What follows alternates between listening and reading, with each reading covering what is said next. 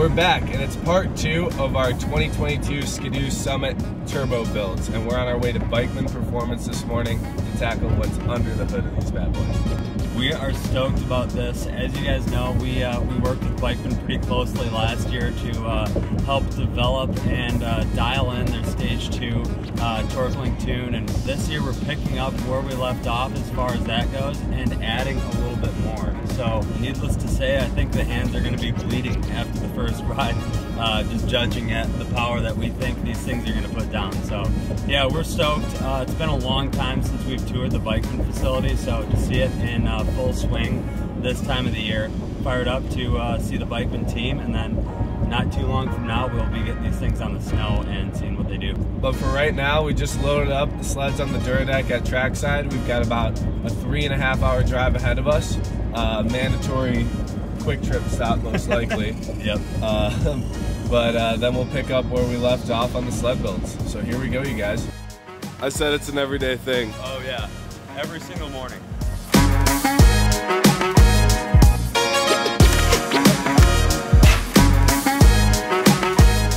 This place is busy. Place to be at 8 a.m. on a Tuesday? Yeah. Tuesday, right? Yeah. Guy, we made it. We did it. It was a drive, but it's gonna be well worth it. Oh man, this place is sick. It's time to bring our slides inside though and go inside and say what up to everyone. And uh, yeah, Let's check it out. check it out. She's in the air. Don't drop her.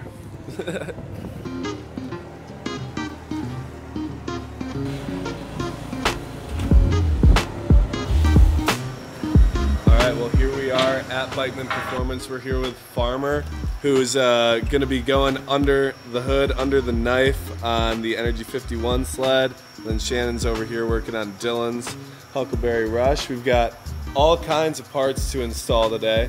Um, Farmer, is this a stage two or stage three? Stage two. Okay. The stage two bolt-on performance kit uh, comes with a Y pipe pipe. Uh, you guys are going to be getting a uh, charge tube also, and then clutching. Sweet. Pretty sweet guys. All right, well, where should we get started? Probably pulling the hood off, huh? get started uh, tearing this apart so we get some goodies. Okay.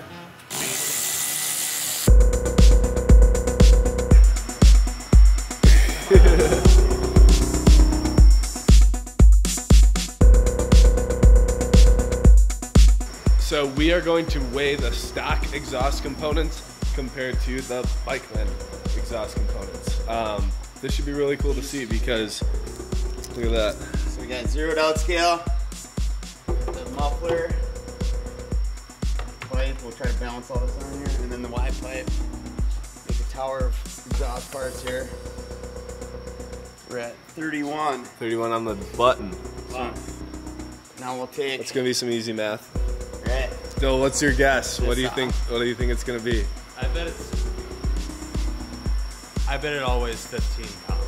Okay, So almost 15 pound difference. I, it's gotta be close. 15. I'm gonna go 18 and a half. 18 and a half for everything. Joey, what's your guess? I'm guessing we're 12 pounds light. Okay.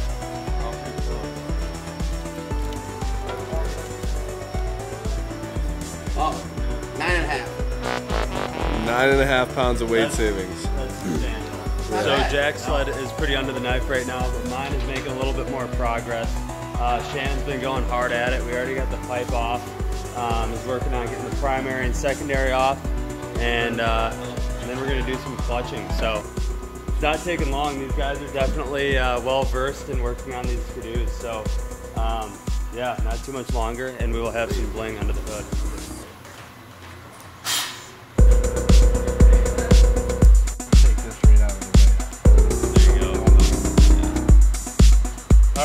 Recommend removing this. This is a little bit of a bugger to get out of here. Uh, just, just to ensure you don't beat this gasket up. Yeah. Already did that a little bit.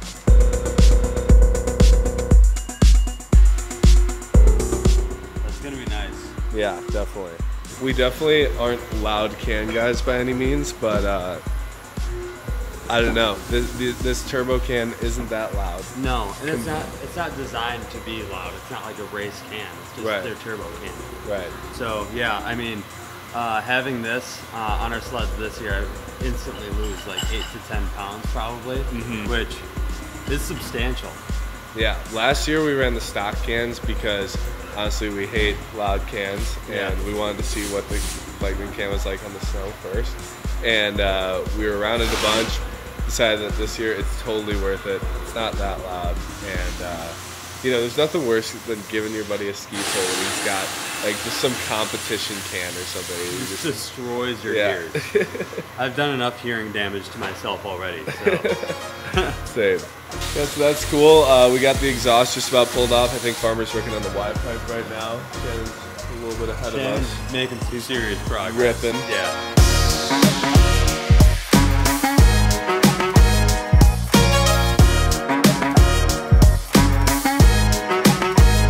All right, now that we've got the charge tube back in place, we're gonna go ahead and start on the clutch kit part of this before we get everything else buttoned back up in this.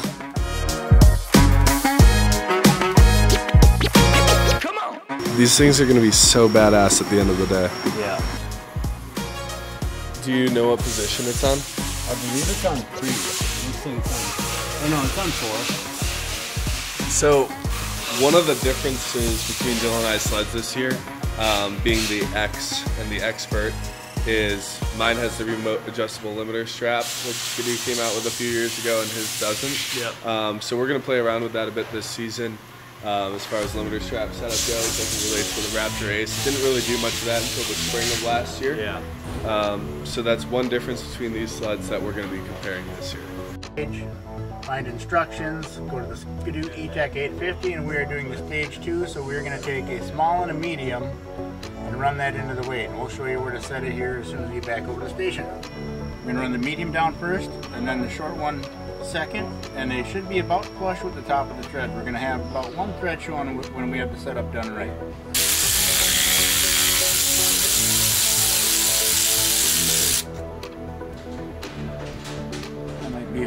Tiny bit too far, so I'm gonna back it out just a little bit. Well, that is the way to do it. Yeah. We're used to doing all this stuff manually. Yeah, even after riding, you know, every day, you still get an arm pump after doing that. Made in Austria. The import. We're whipping the foreign. Whipping the foreign. Yep. We were fortunate to ride with our buddy Jared Sessions a bunch last season and learned a ton about clutching. I mean, it's such a complex subject.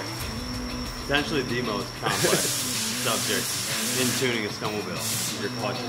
Between what we're doing right now with the primary weights um, and where that weight is positioned, um, made a huge difference in how these turbos respond, uh, especially when you couple it with a gearing change or a secondary change like we did at the end of the season with Helix and the springs there. So, uh, very complex subject, and we're continuing to learn more and more. But that's how you learn is by trying new things Yeah.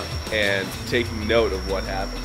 with Bikeman's development of their whole uh, clutch chart and elevations and springs and, and, and weights and, and how you position the weight in there, um, it changes the game for how to set up your clutching uh, according to kits you buy. Yeah, it does. And with these weights too, you can make changes on the mountain pretty Right. easily, which is nice. Um, but yeah, definitely recommend keeping track uh, in a journal, even writing it down on your phone, um, the changes that you're making, and try to only make one change at a time. That way, you can pinpoint exactly what that change is doing. Well, looks like uh, Farmer's giving your clutch a little shine over there. All right, sweet. So we're just about done with the primary then, and uh, we'll move on to the secondary.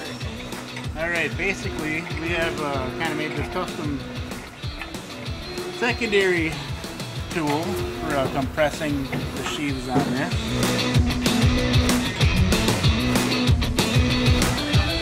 She will never be this clean again.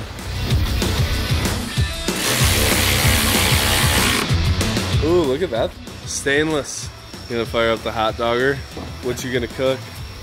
I don't know, man. Might have to uh, get into like our own recipe book, start our own line of recipes. Boondock Nation specialty Yes. recipes. Yes.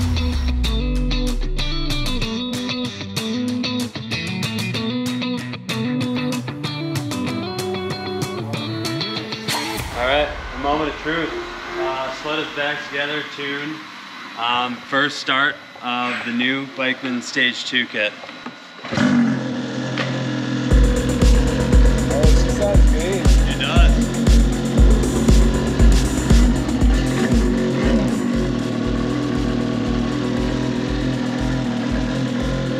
Sick. Well, better start mine.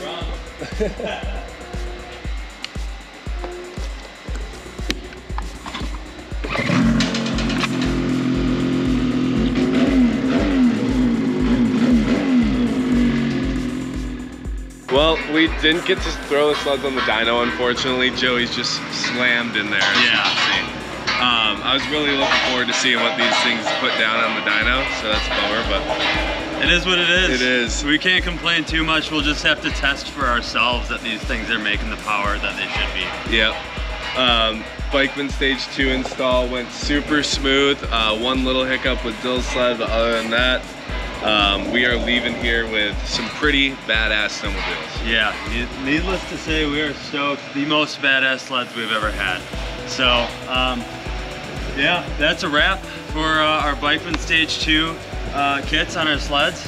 Yeah, up next, we are heading to Idaho for the winter, and uh, we'll be putting the first miles of the season on these things. Hopefully, we get some snow coming here soon. Nothing else to say. Thank you guys so much for watching. Be sure to like, comment, subscribe, all that good stuff, and we will see you on the next video.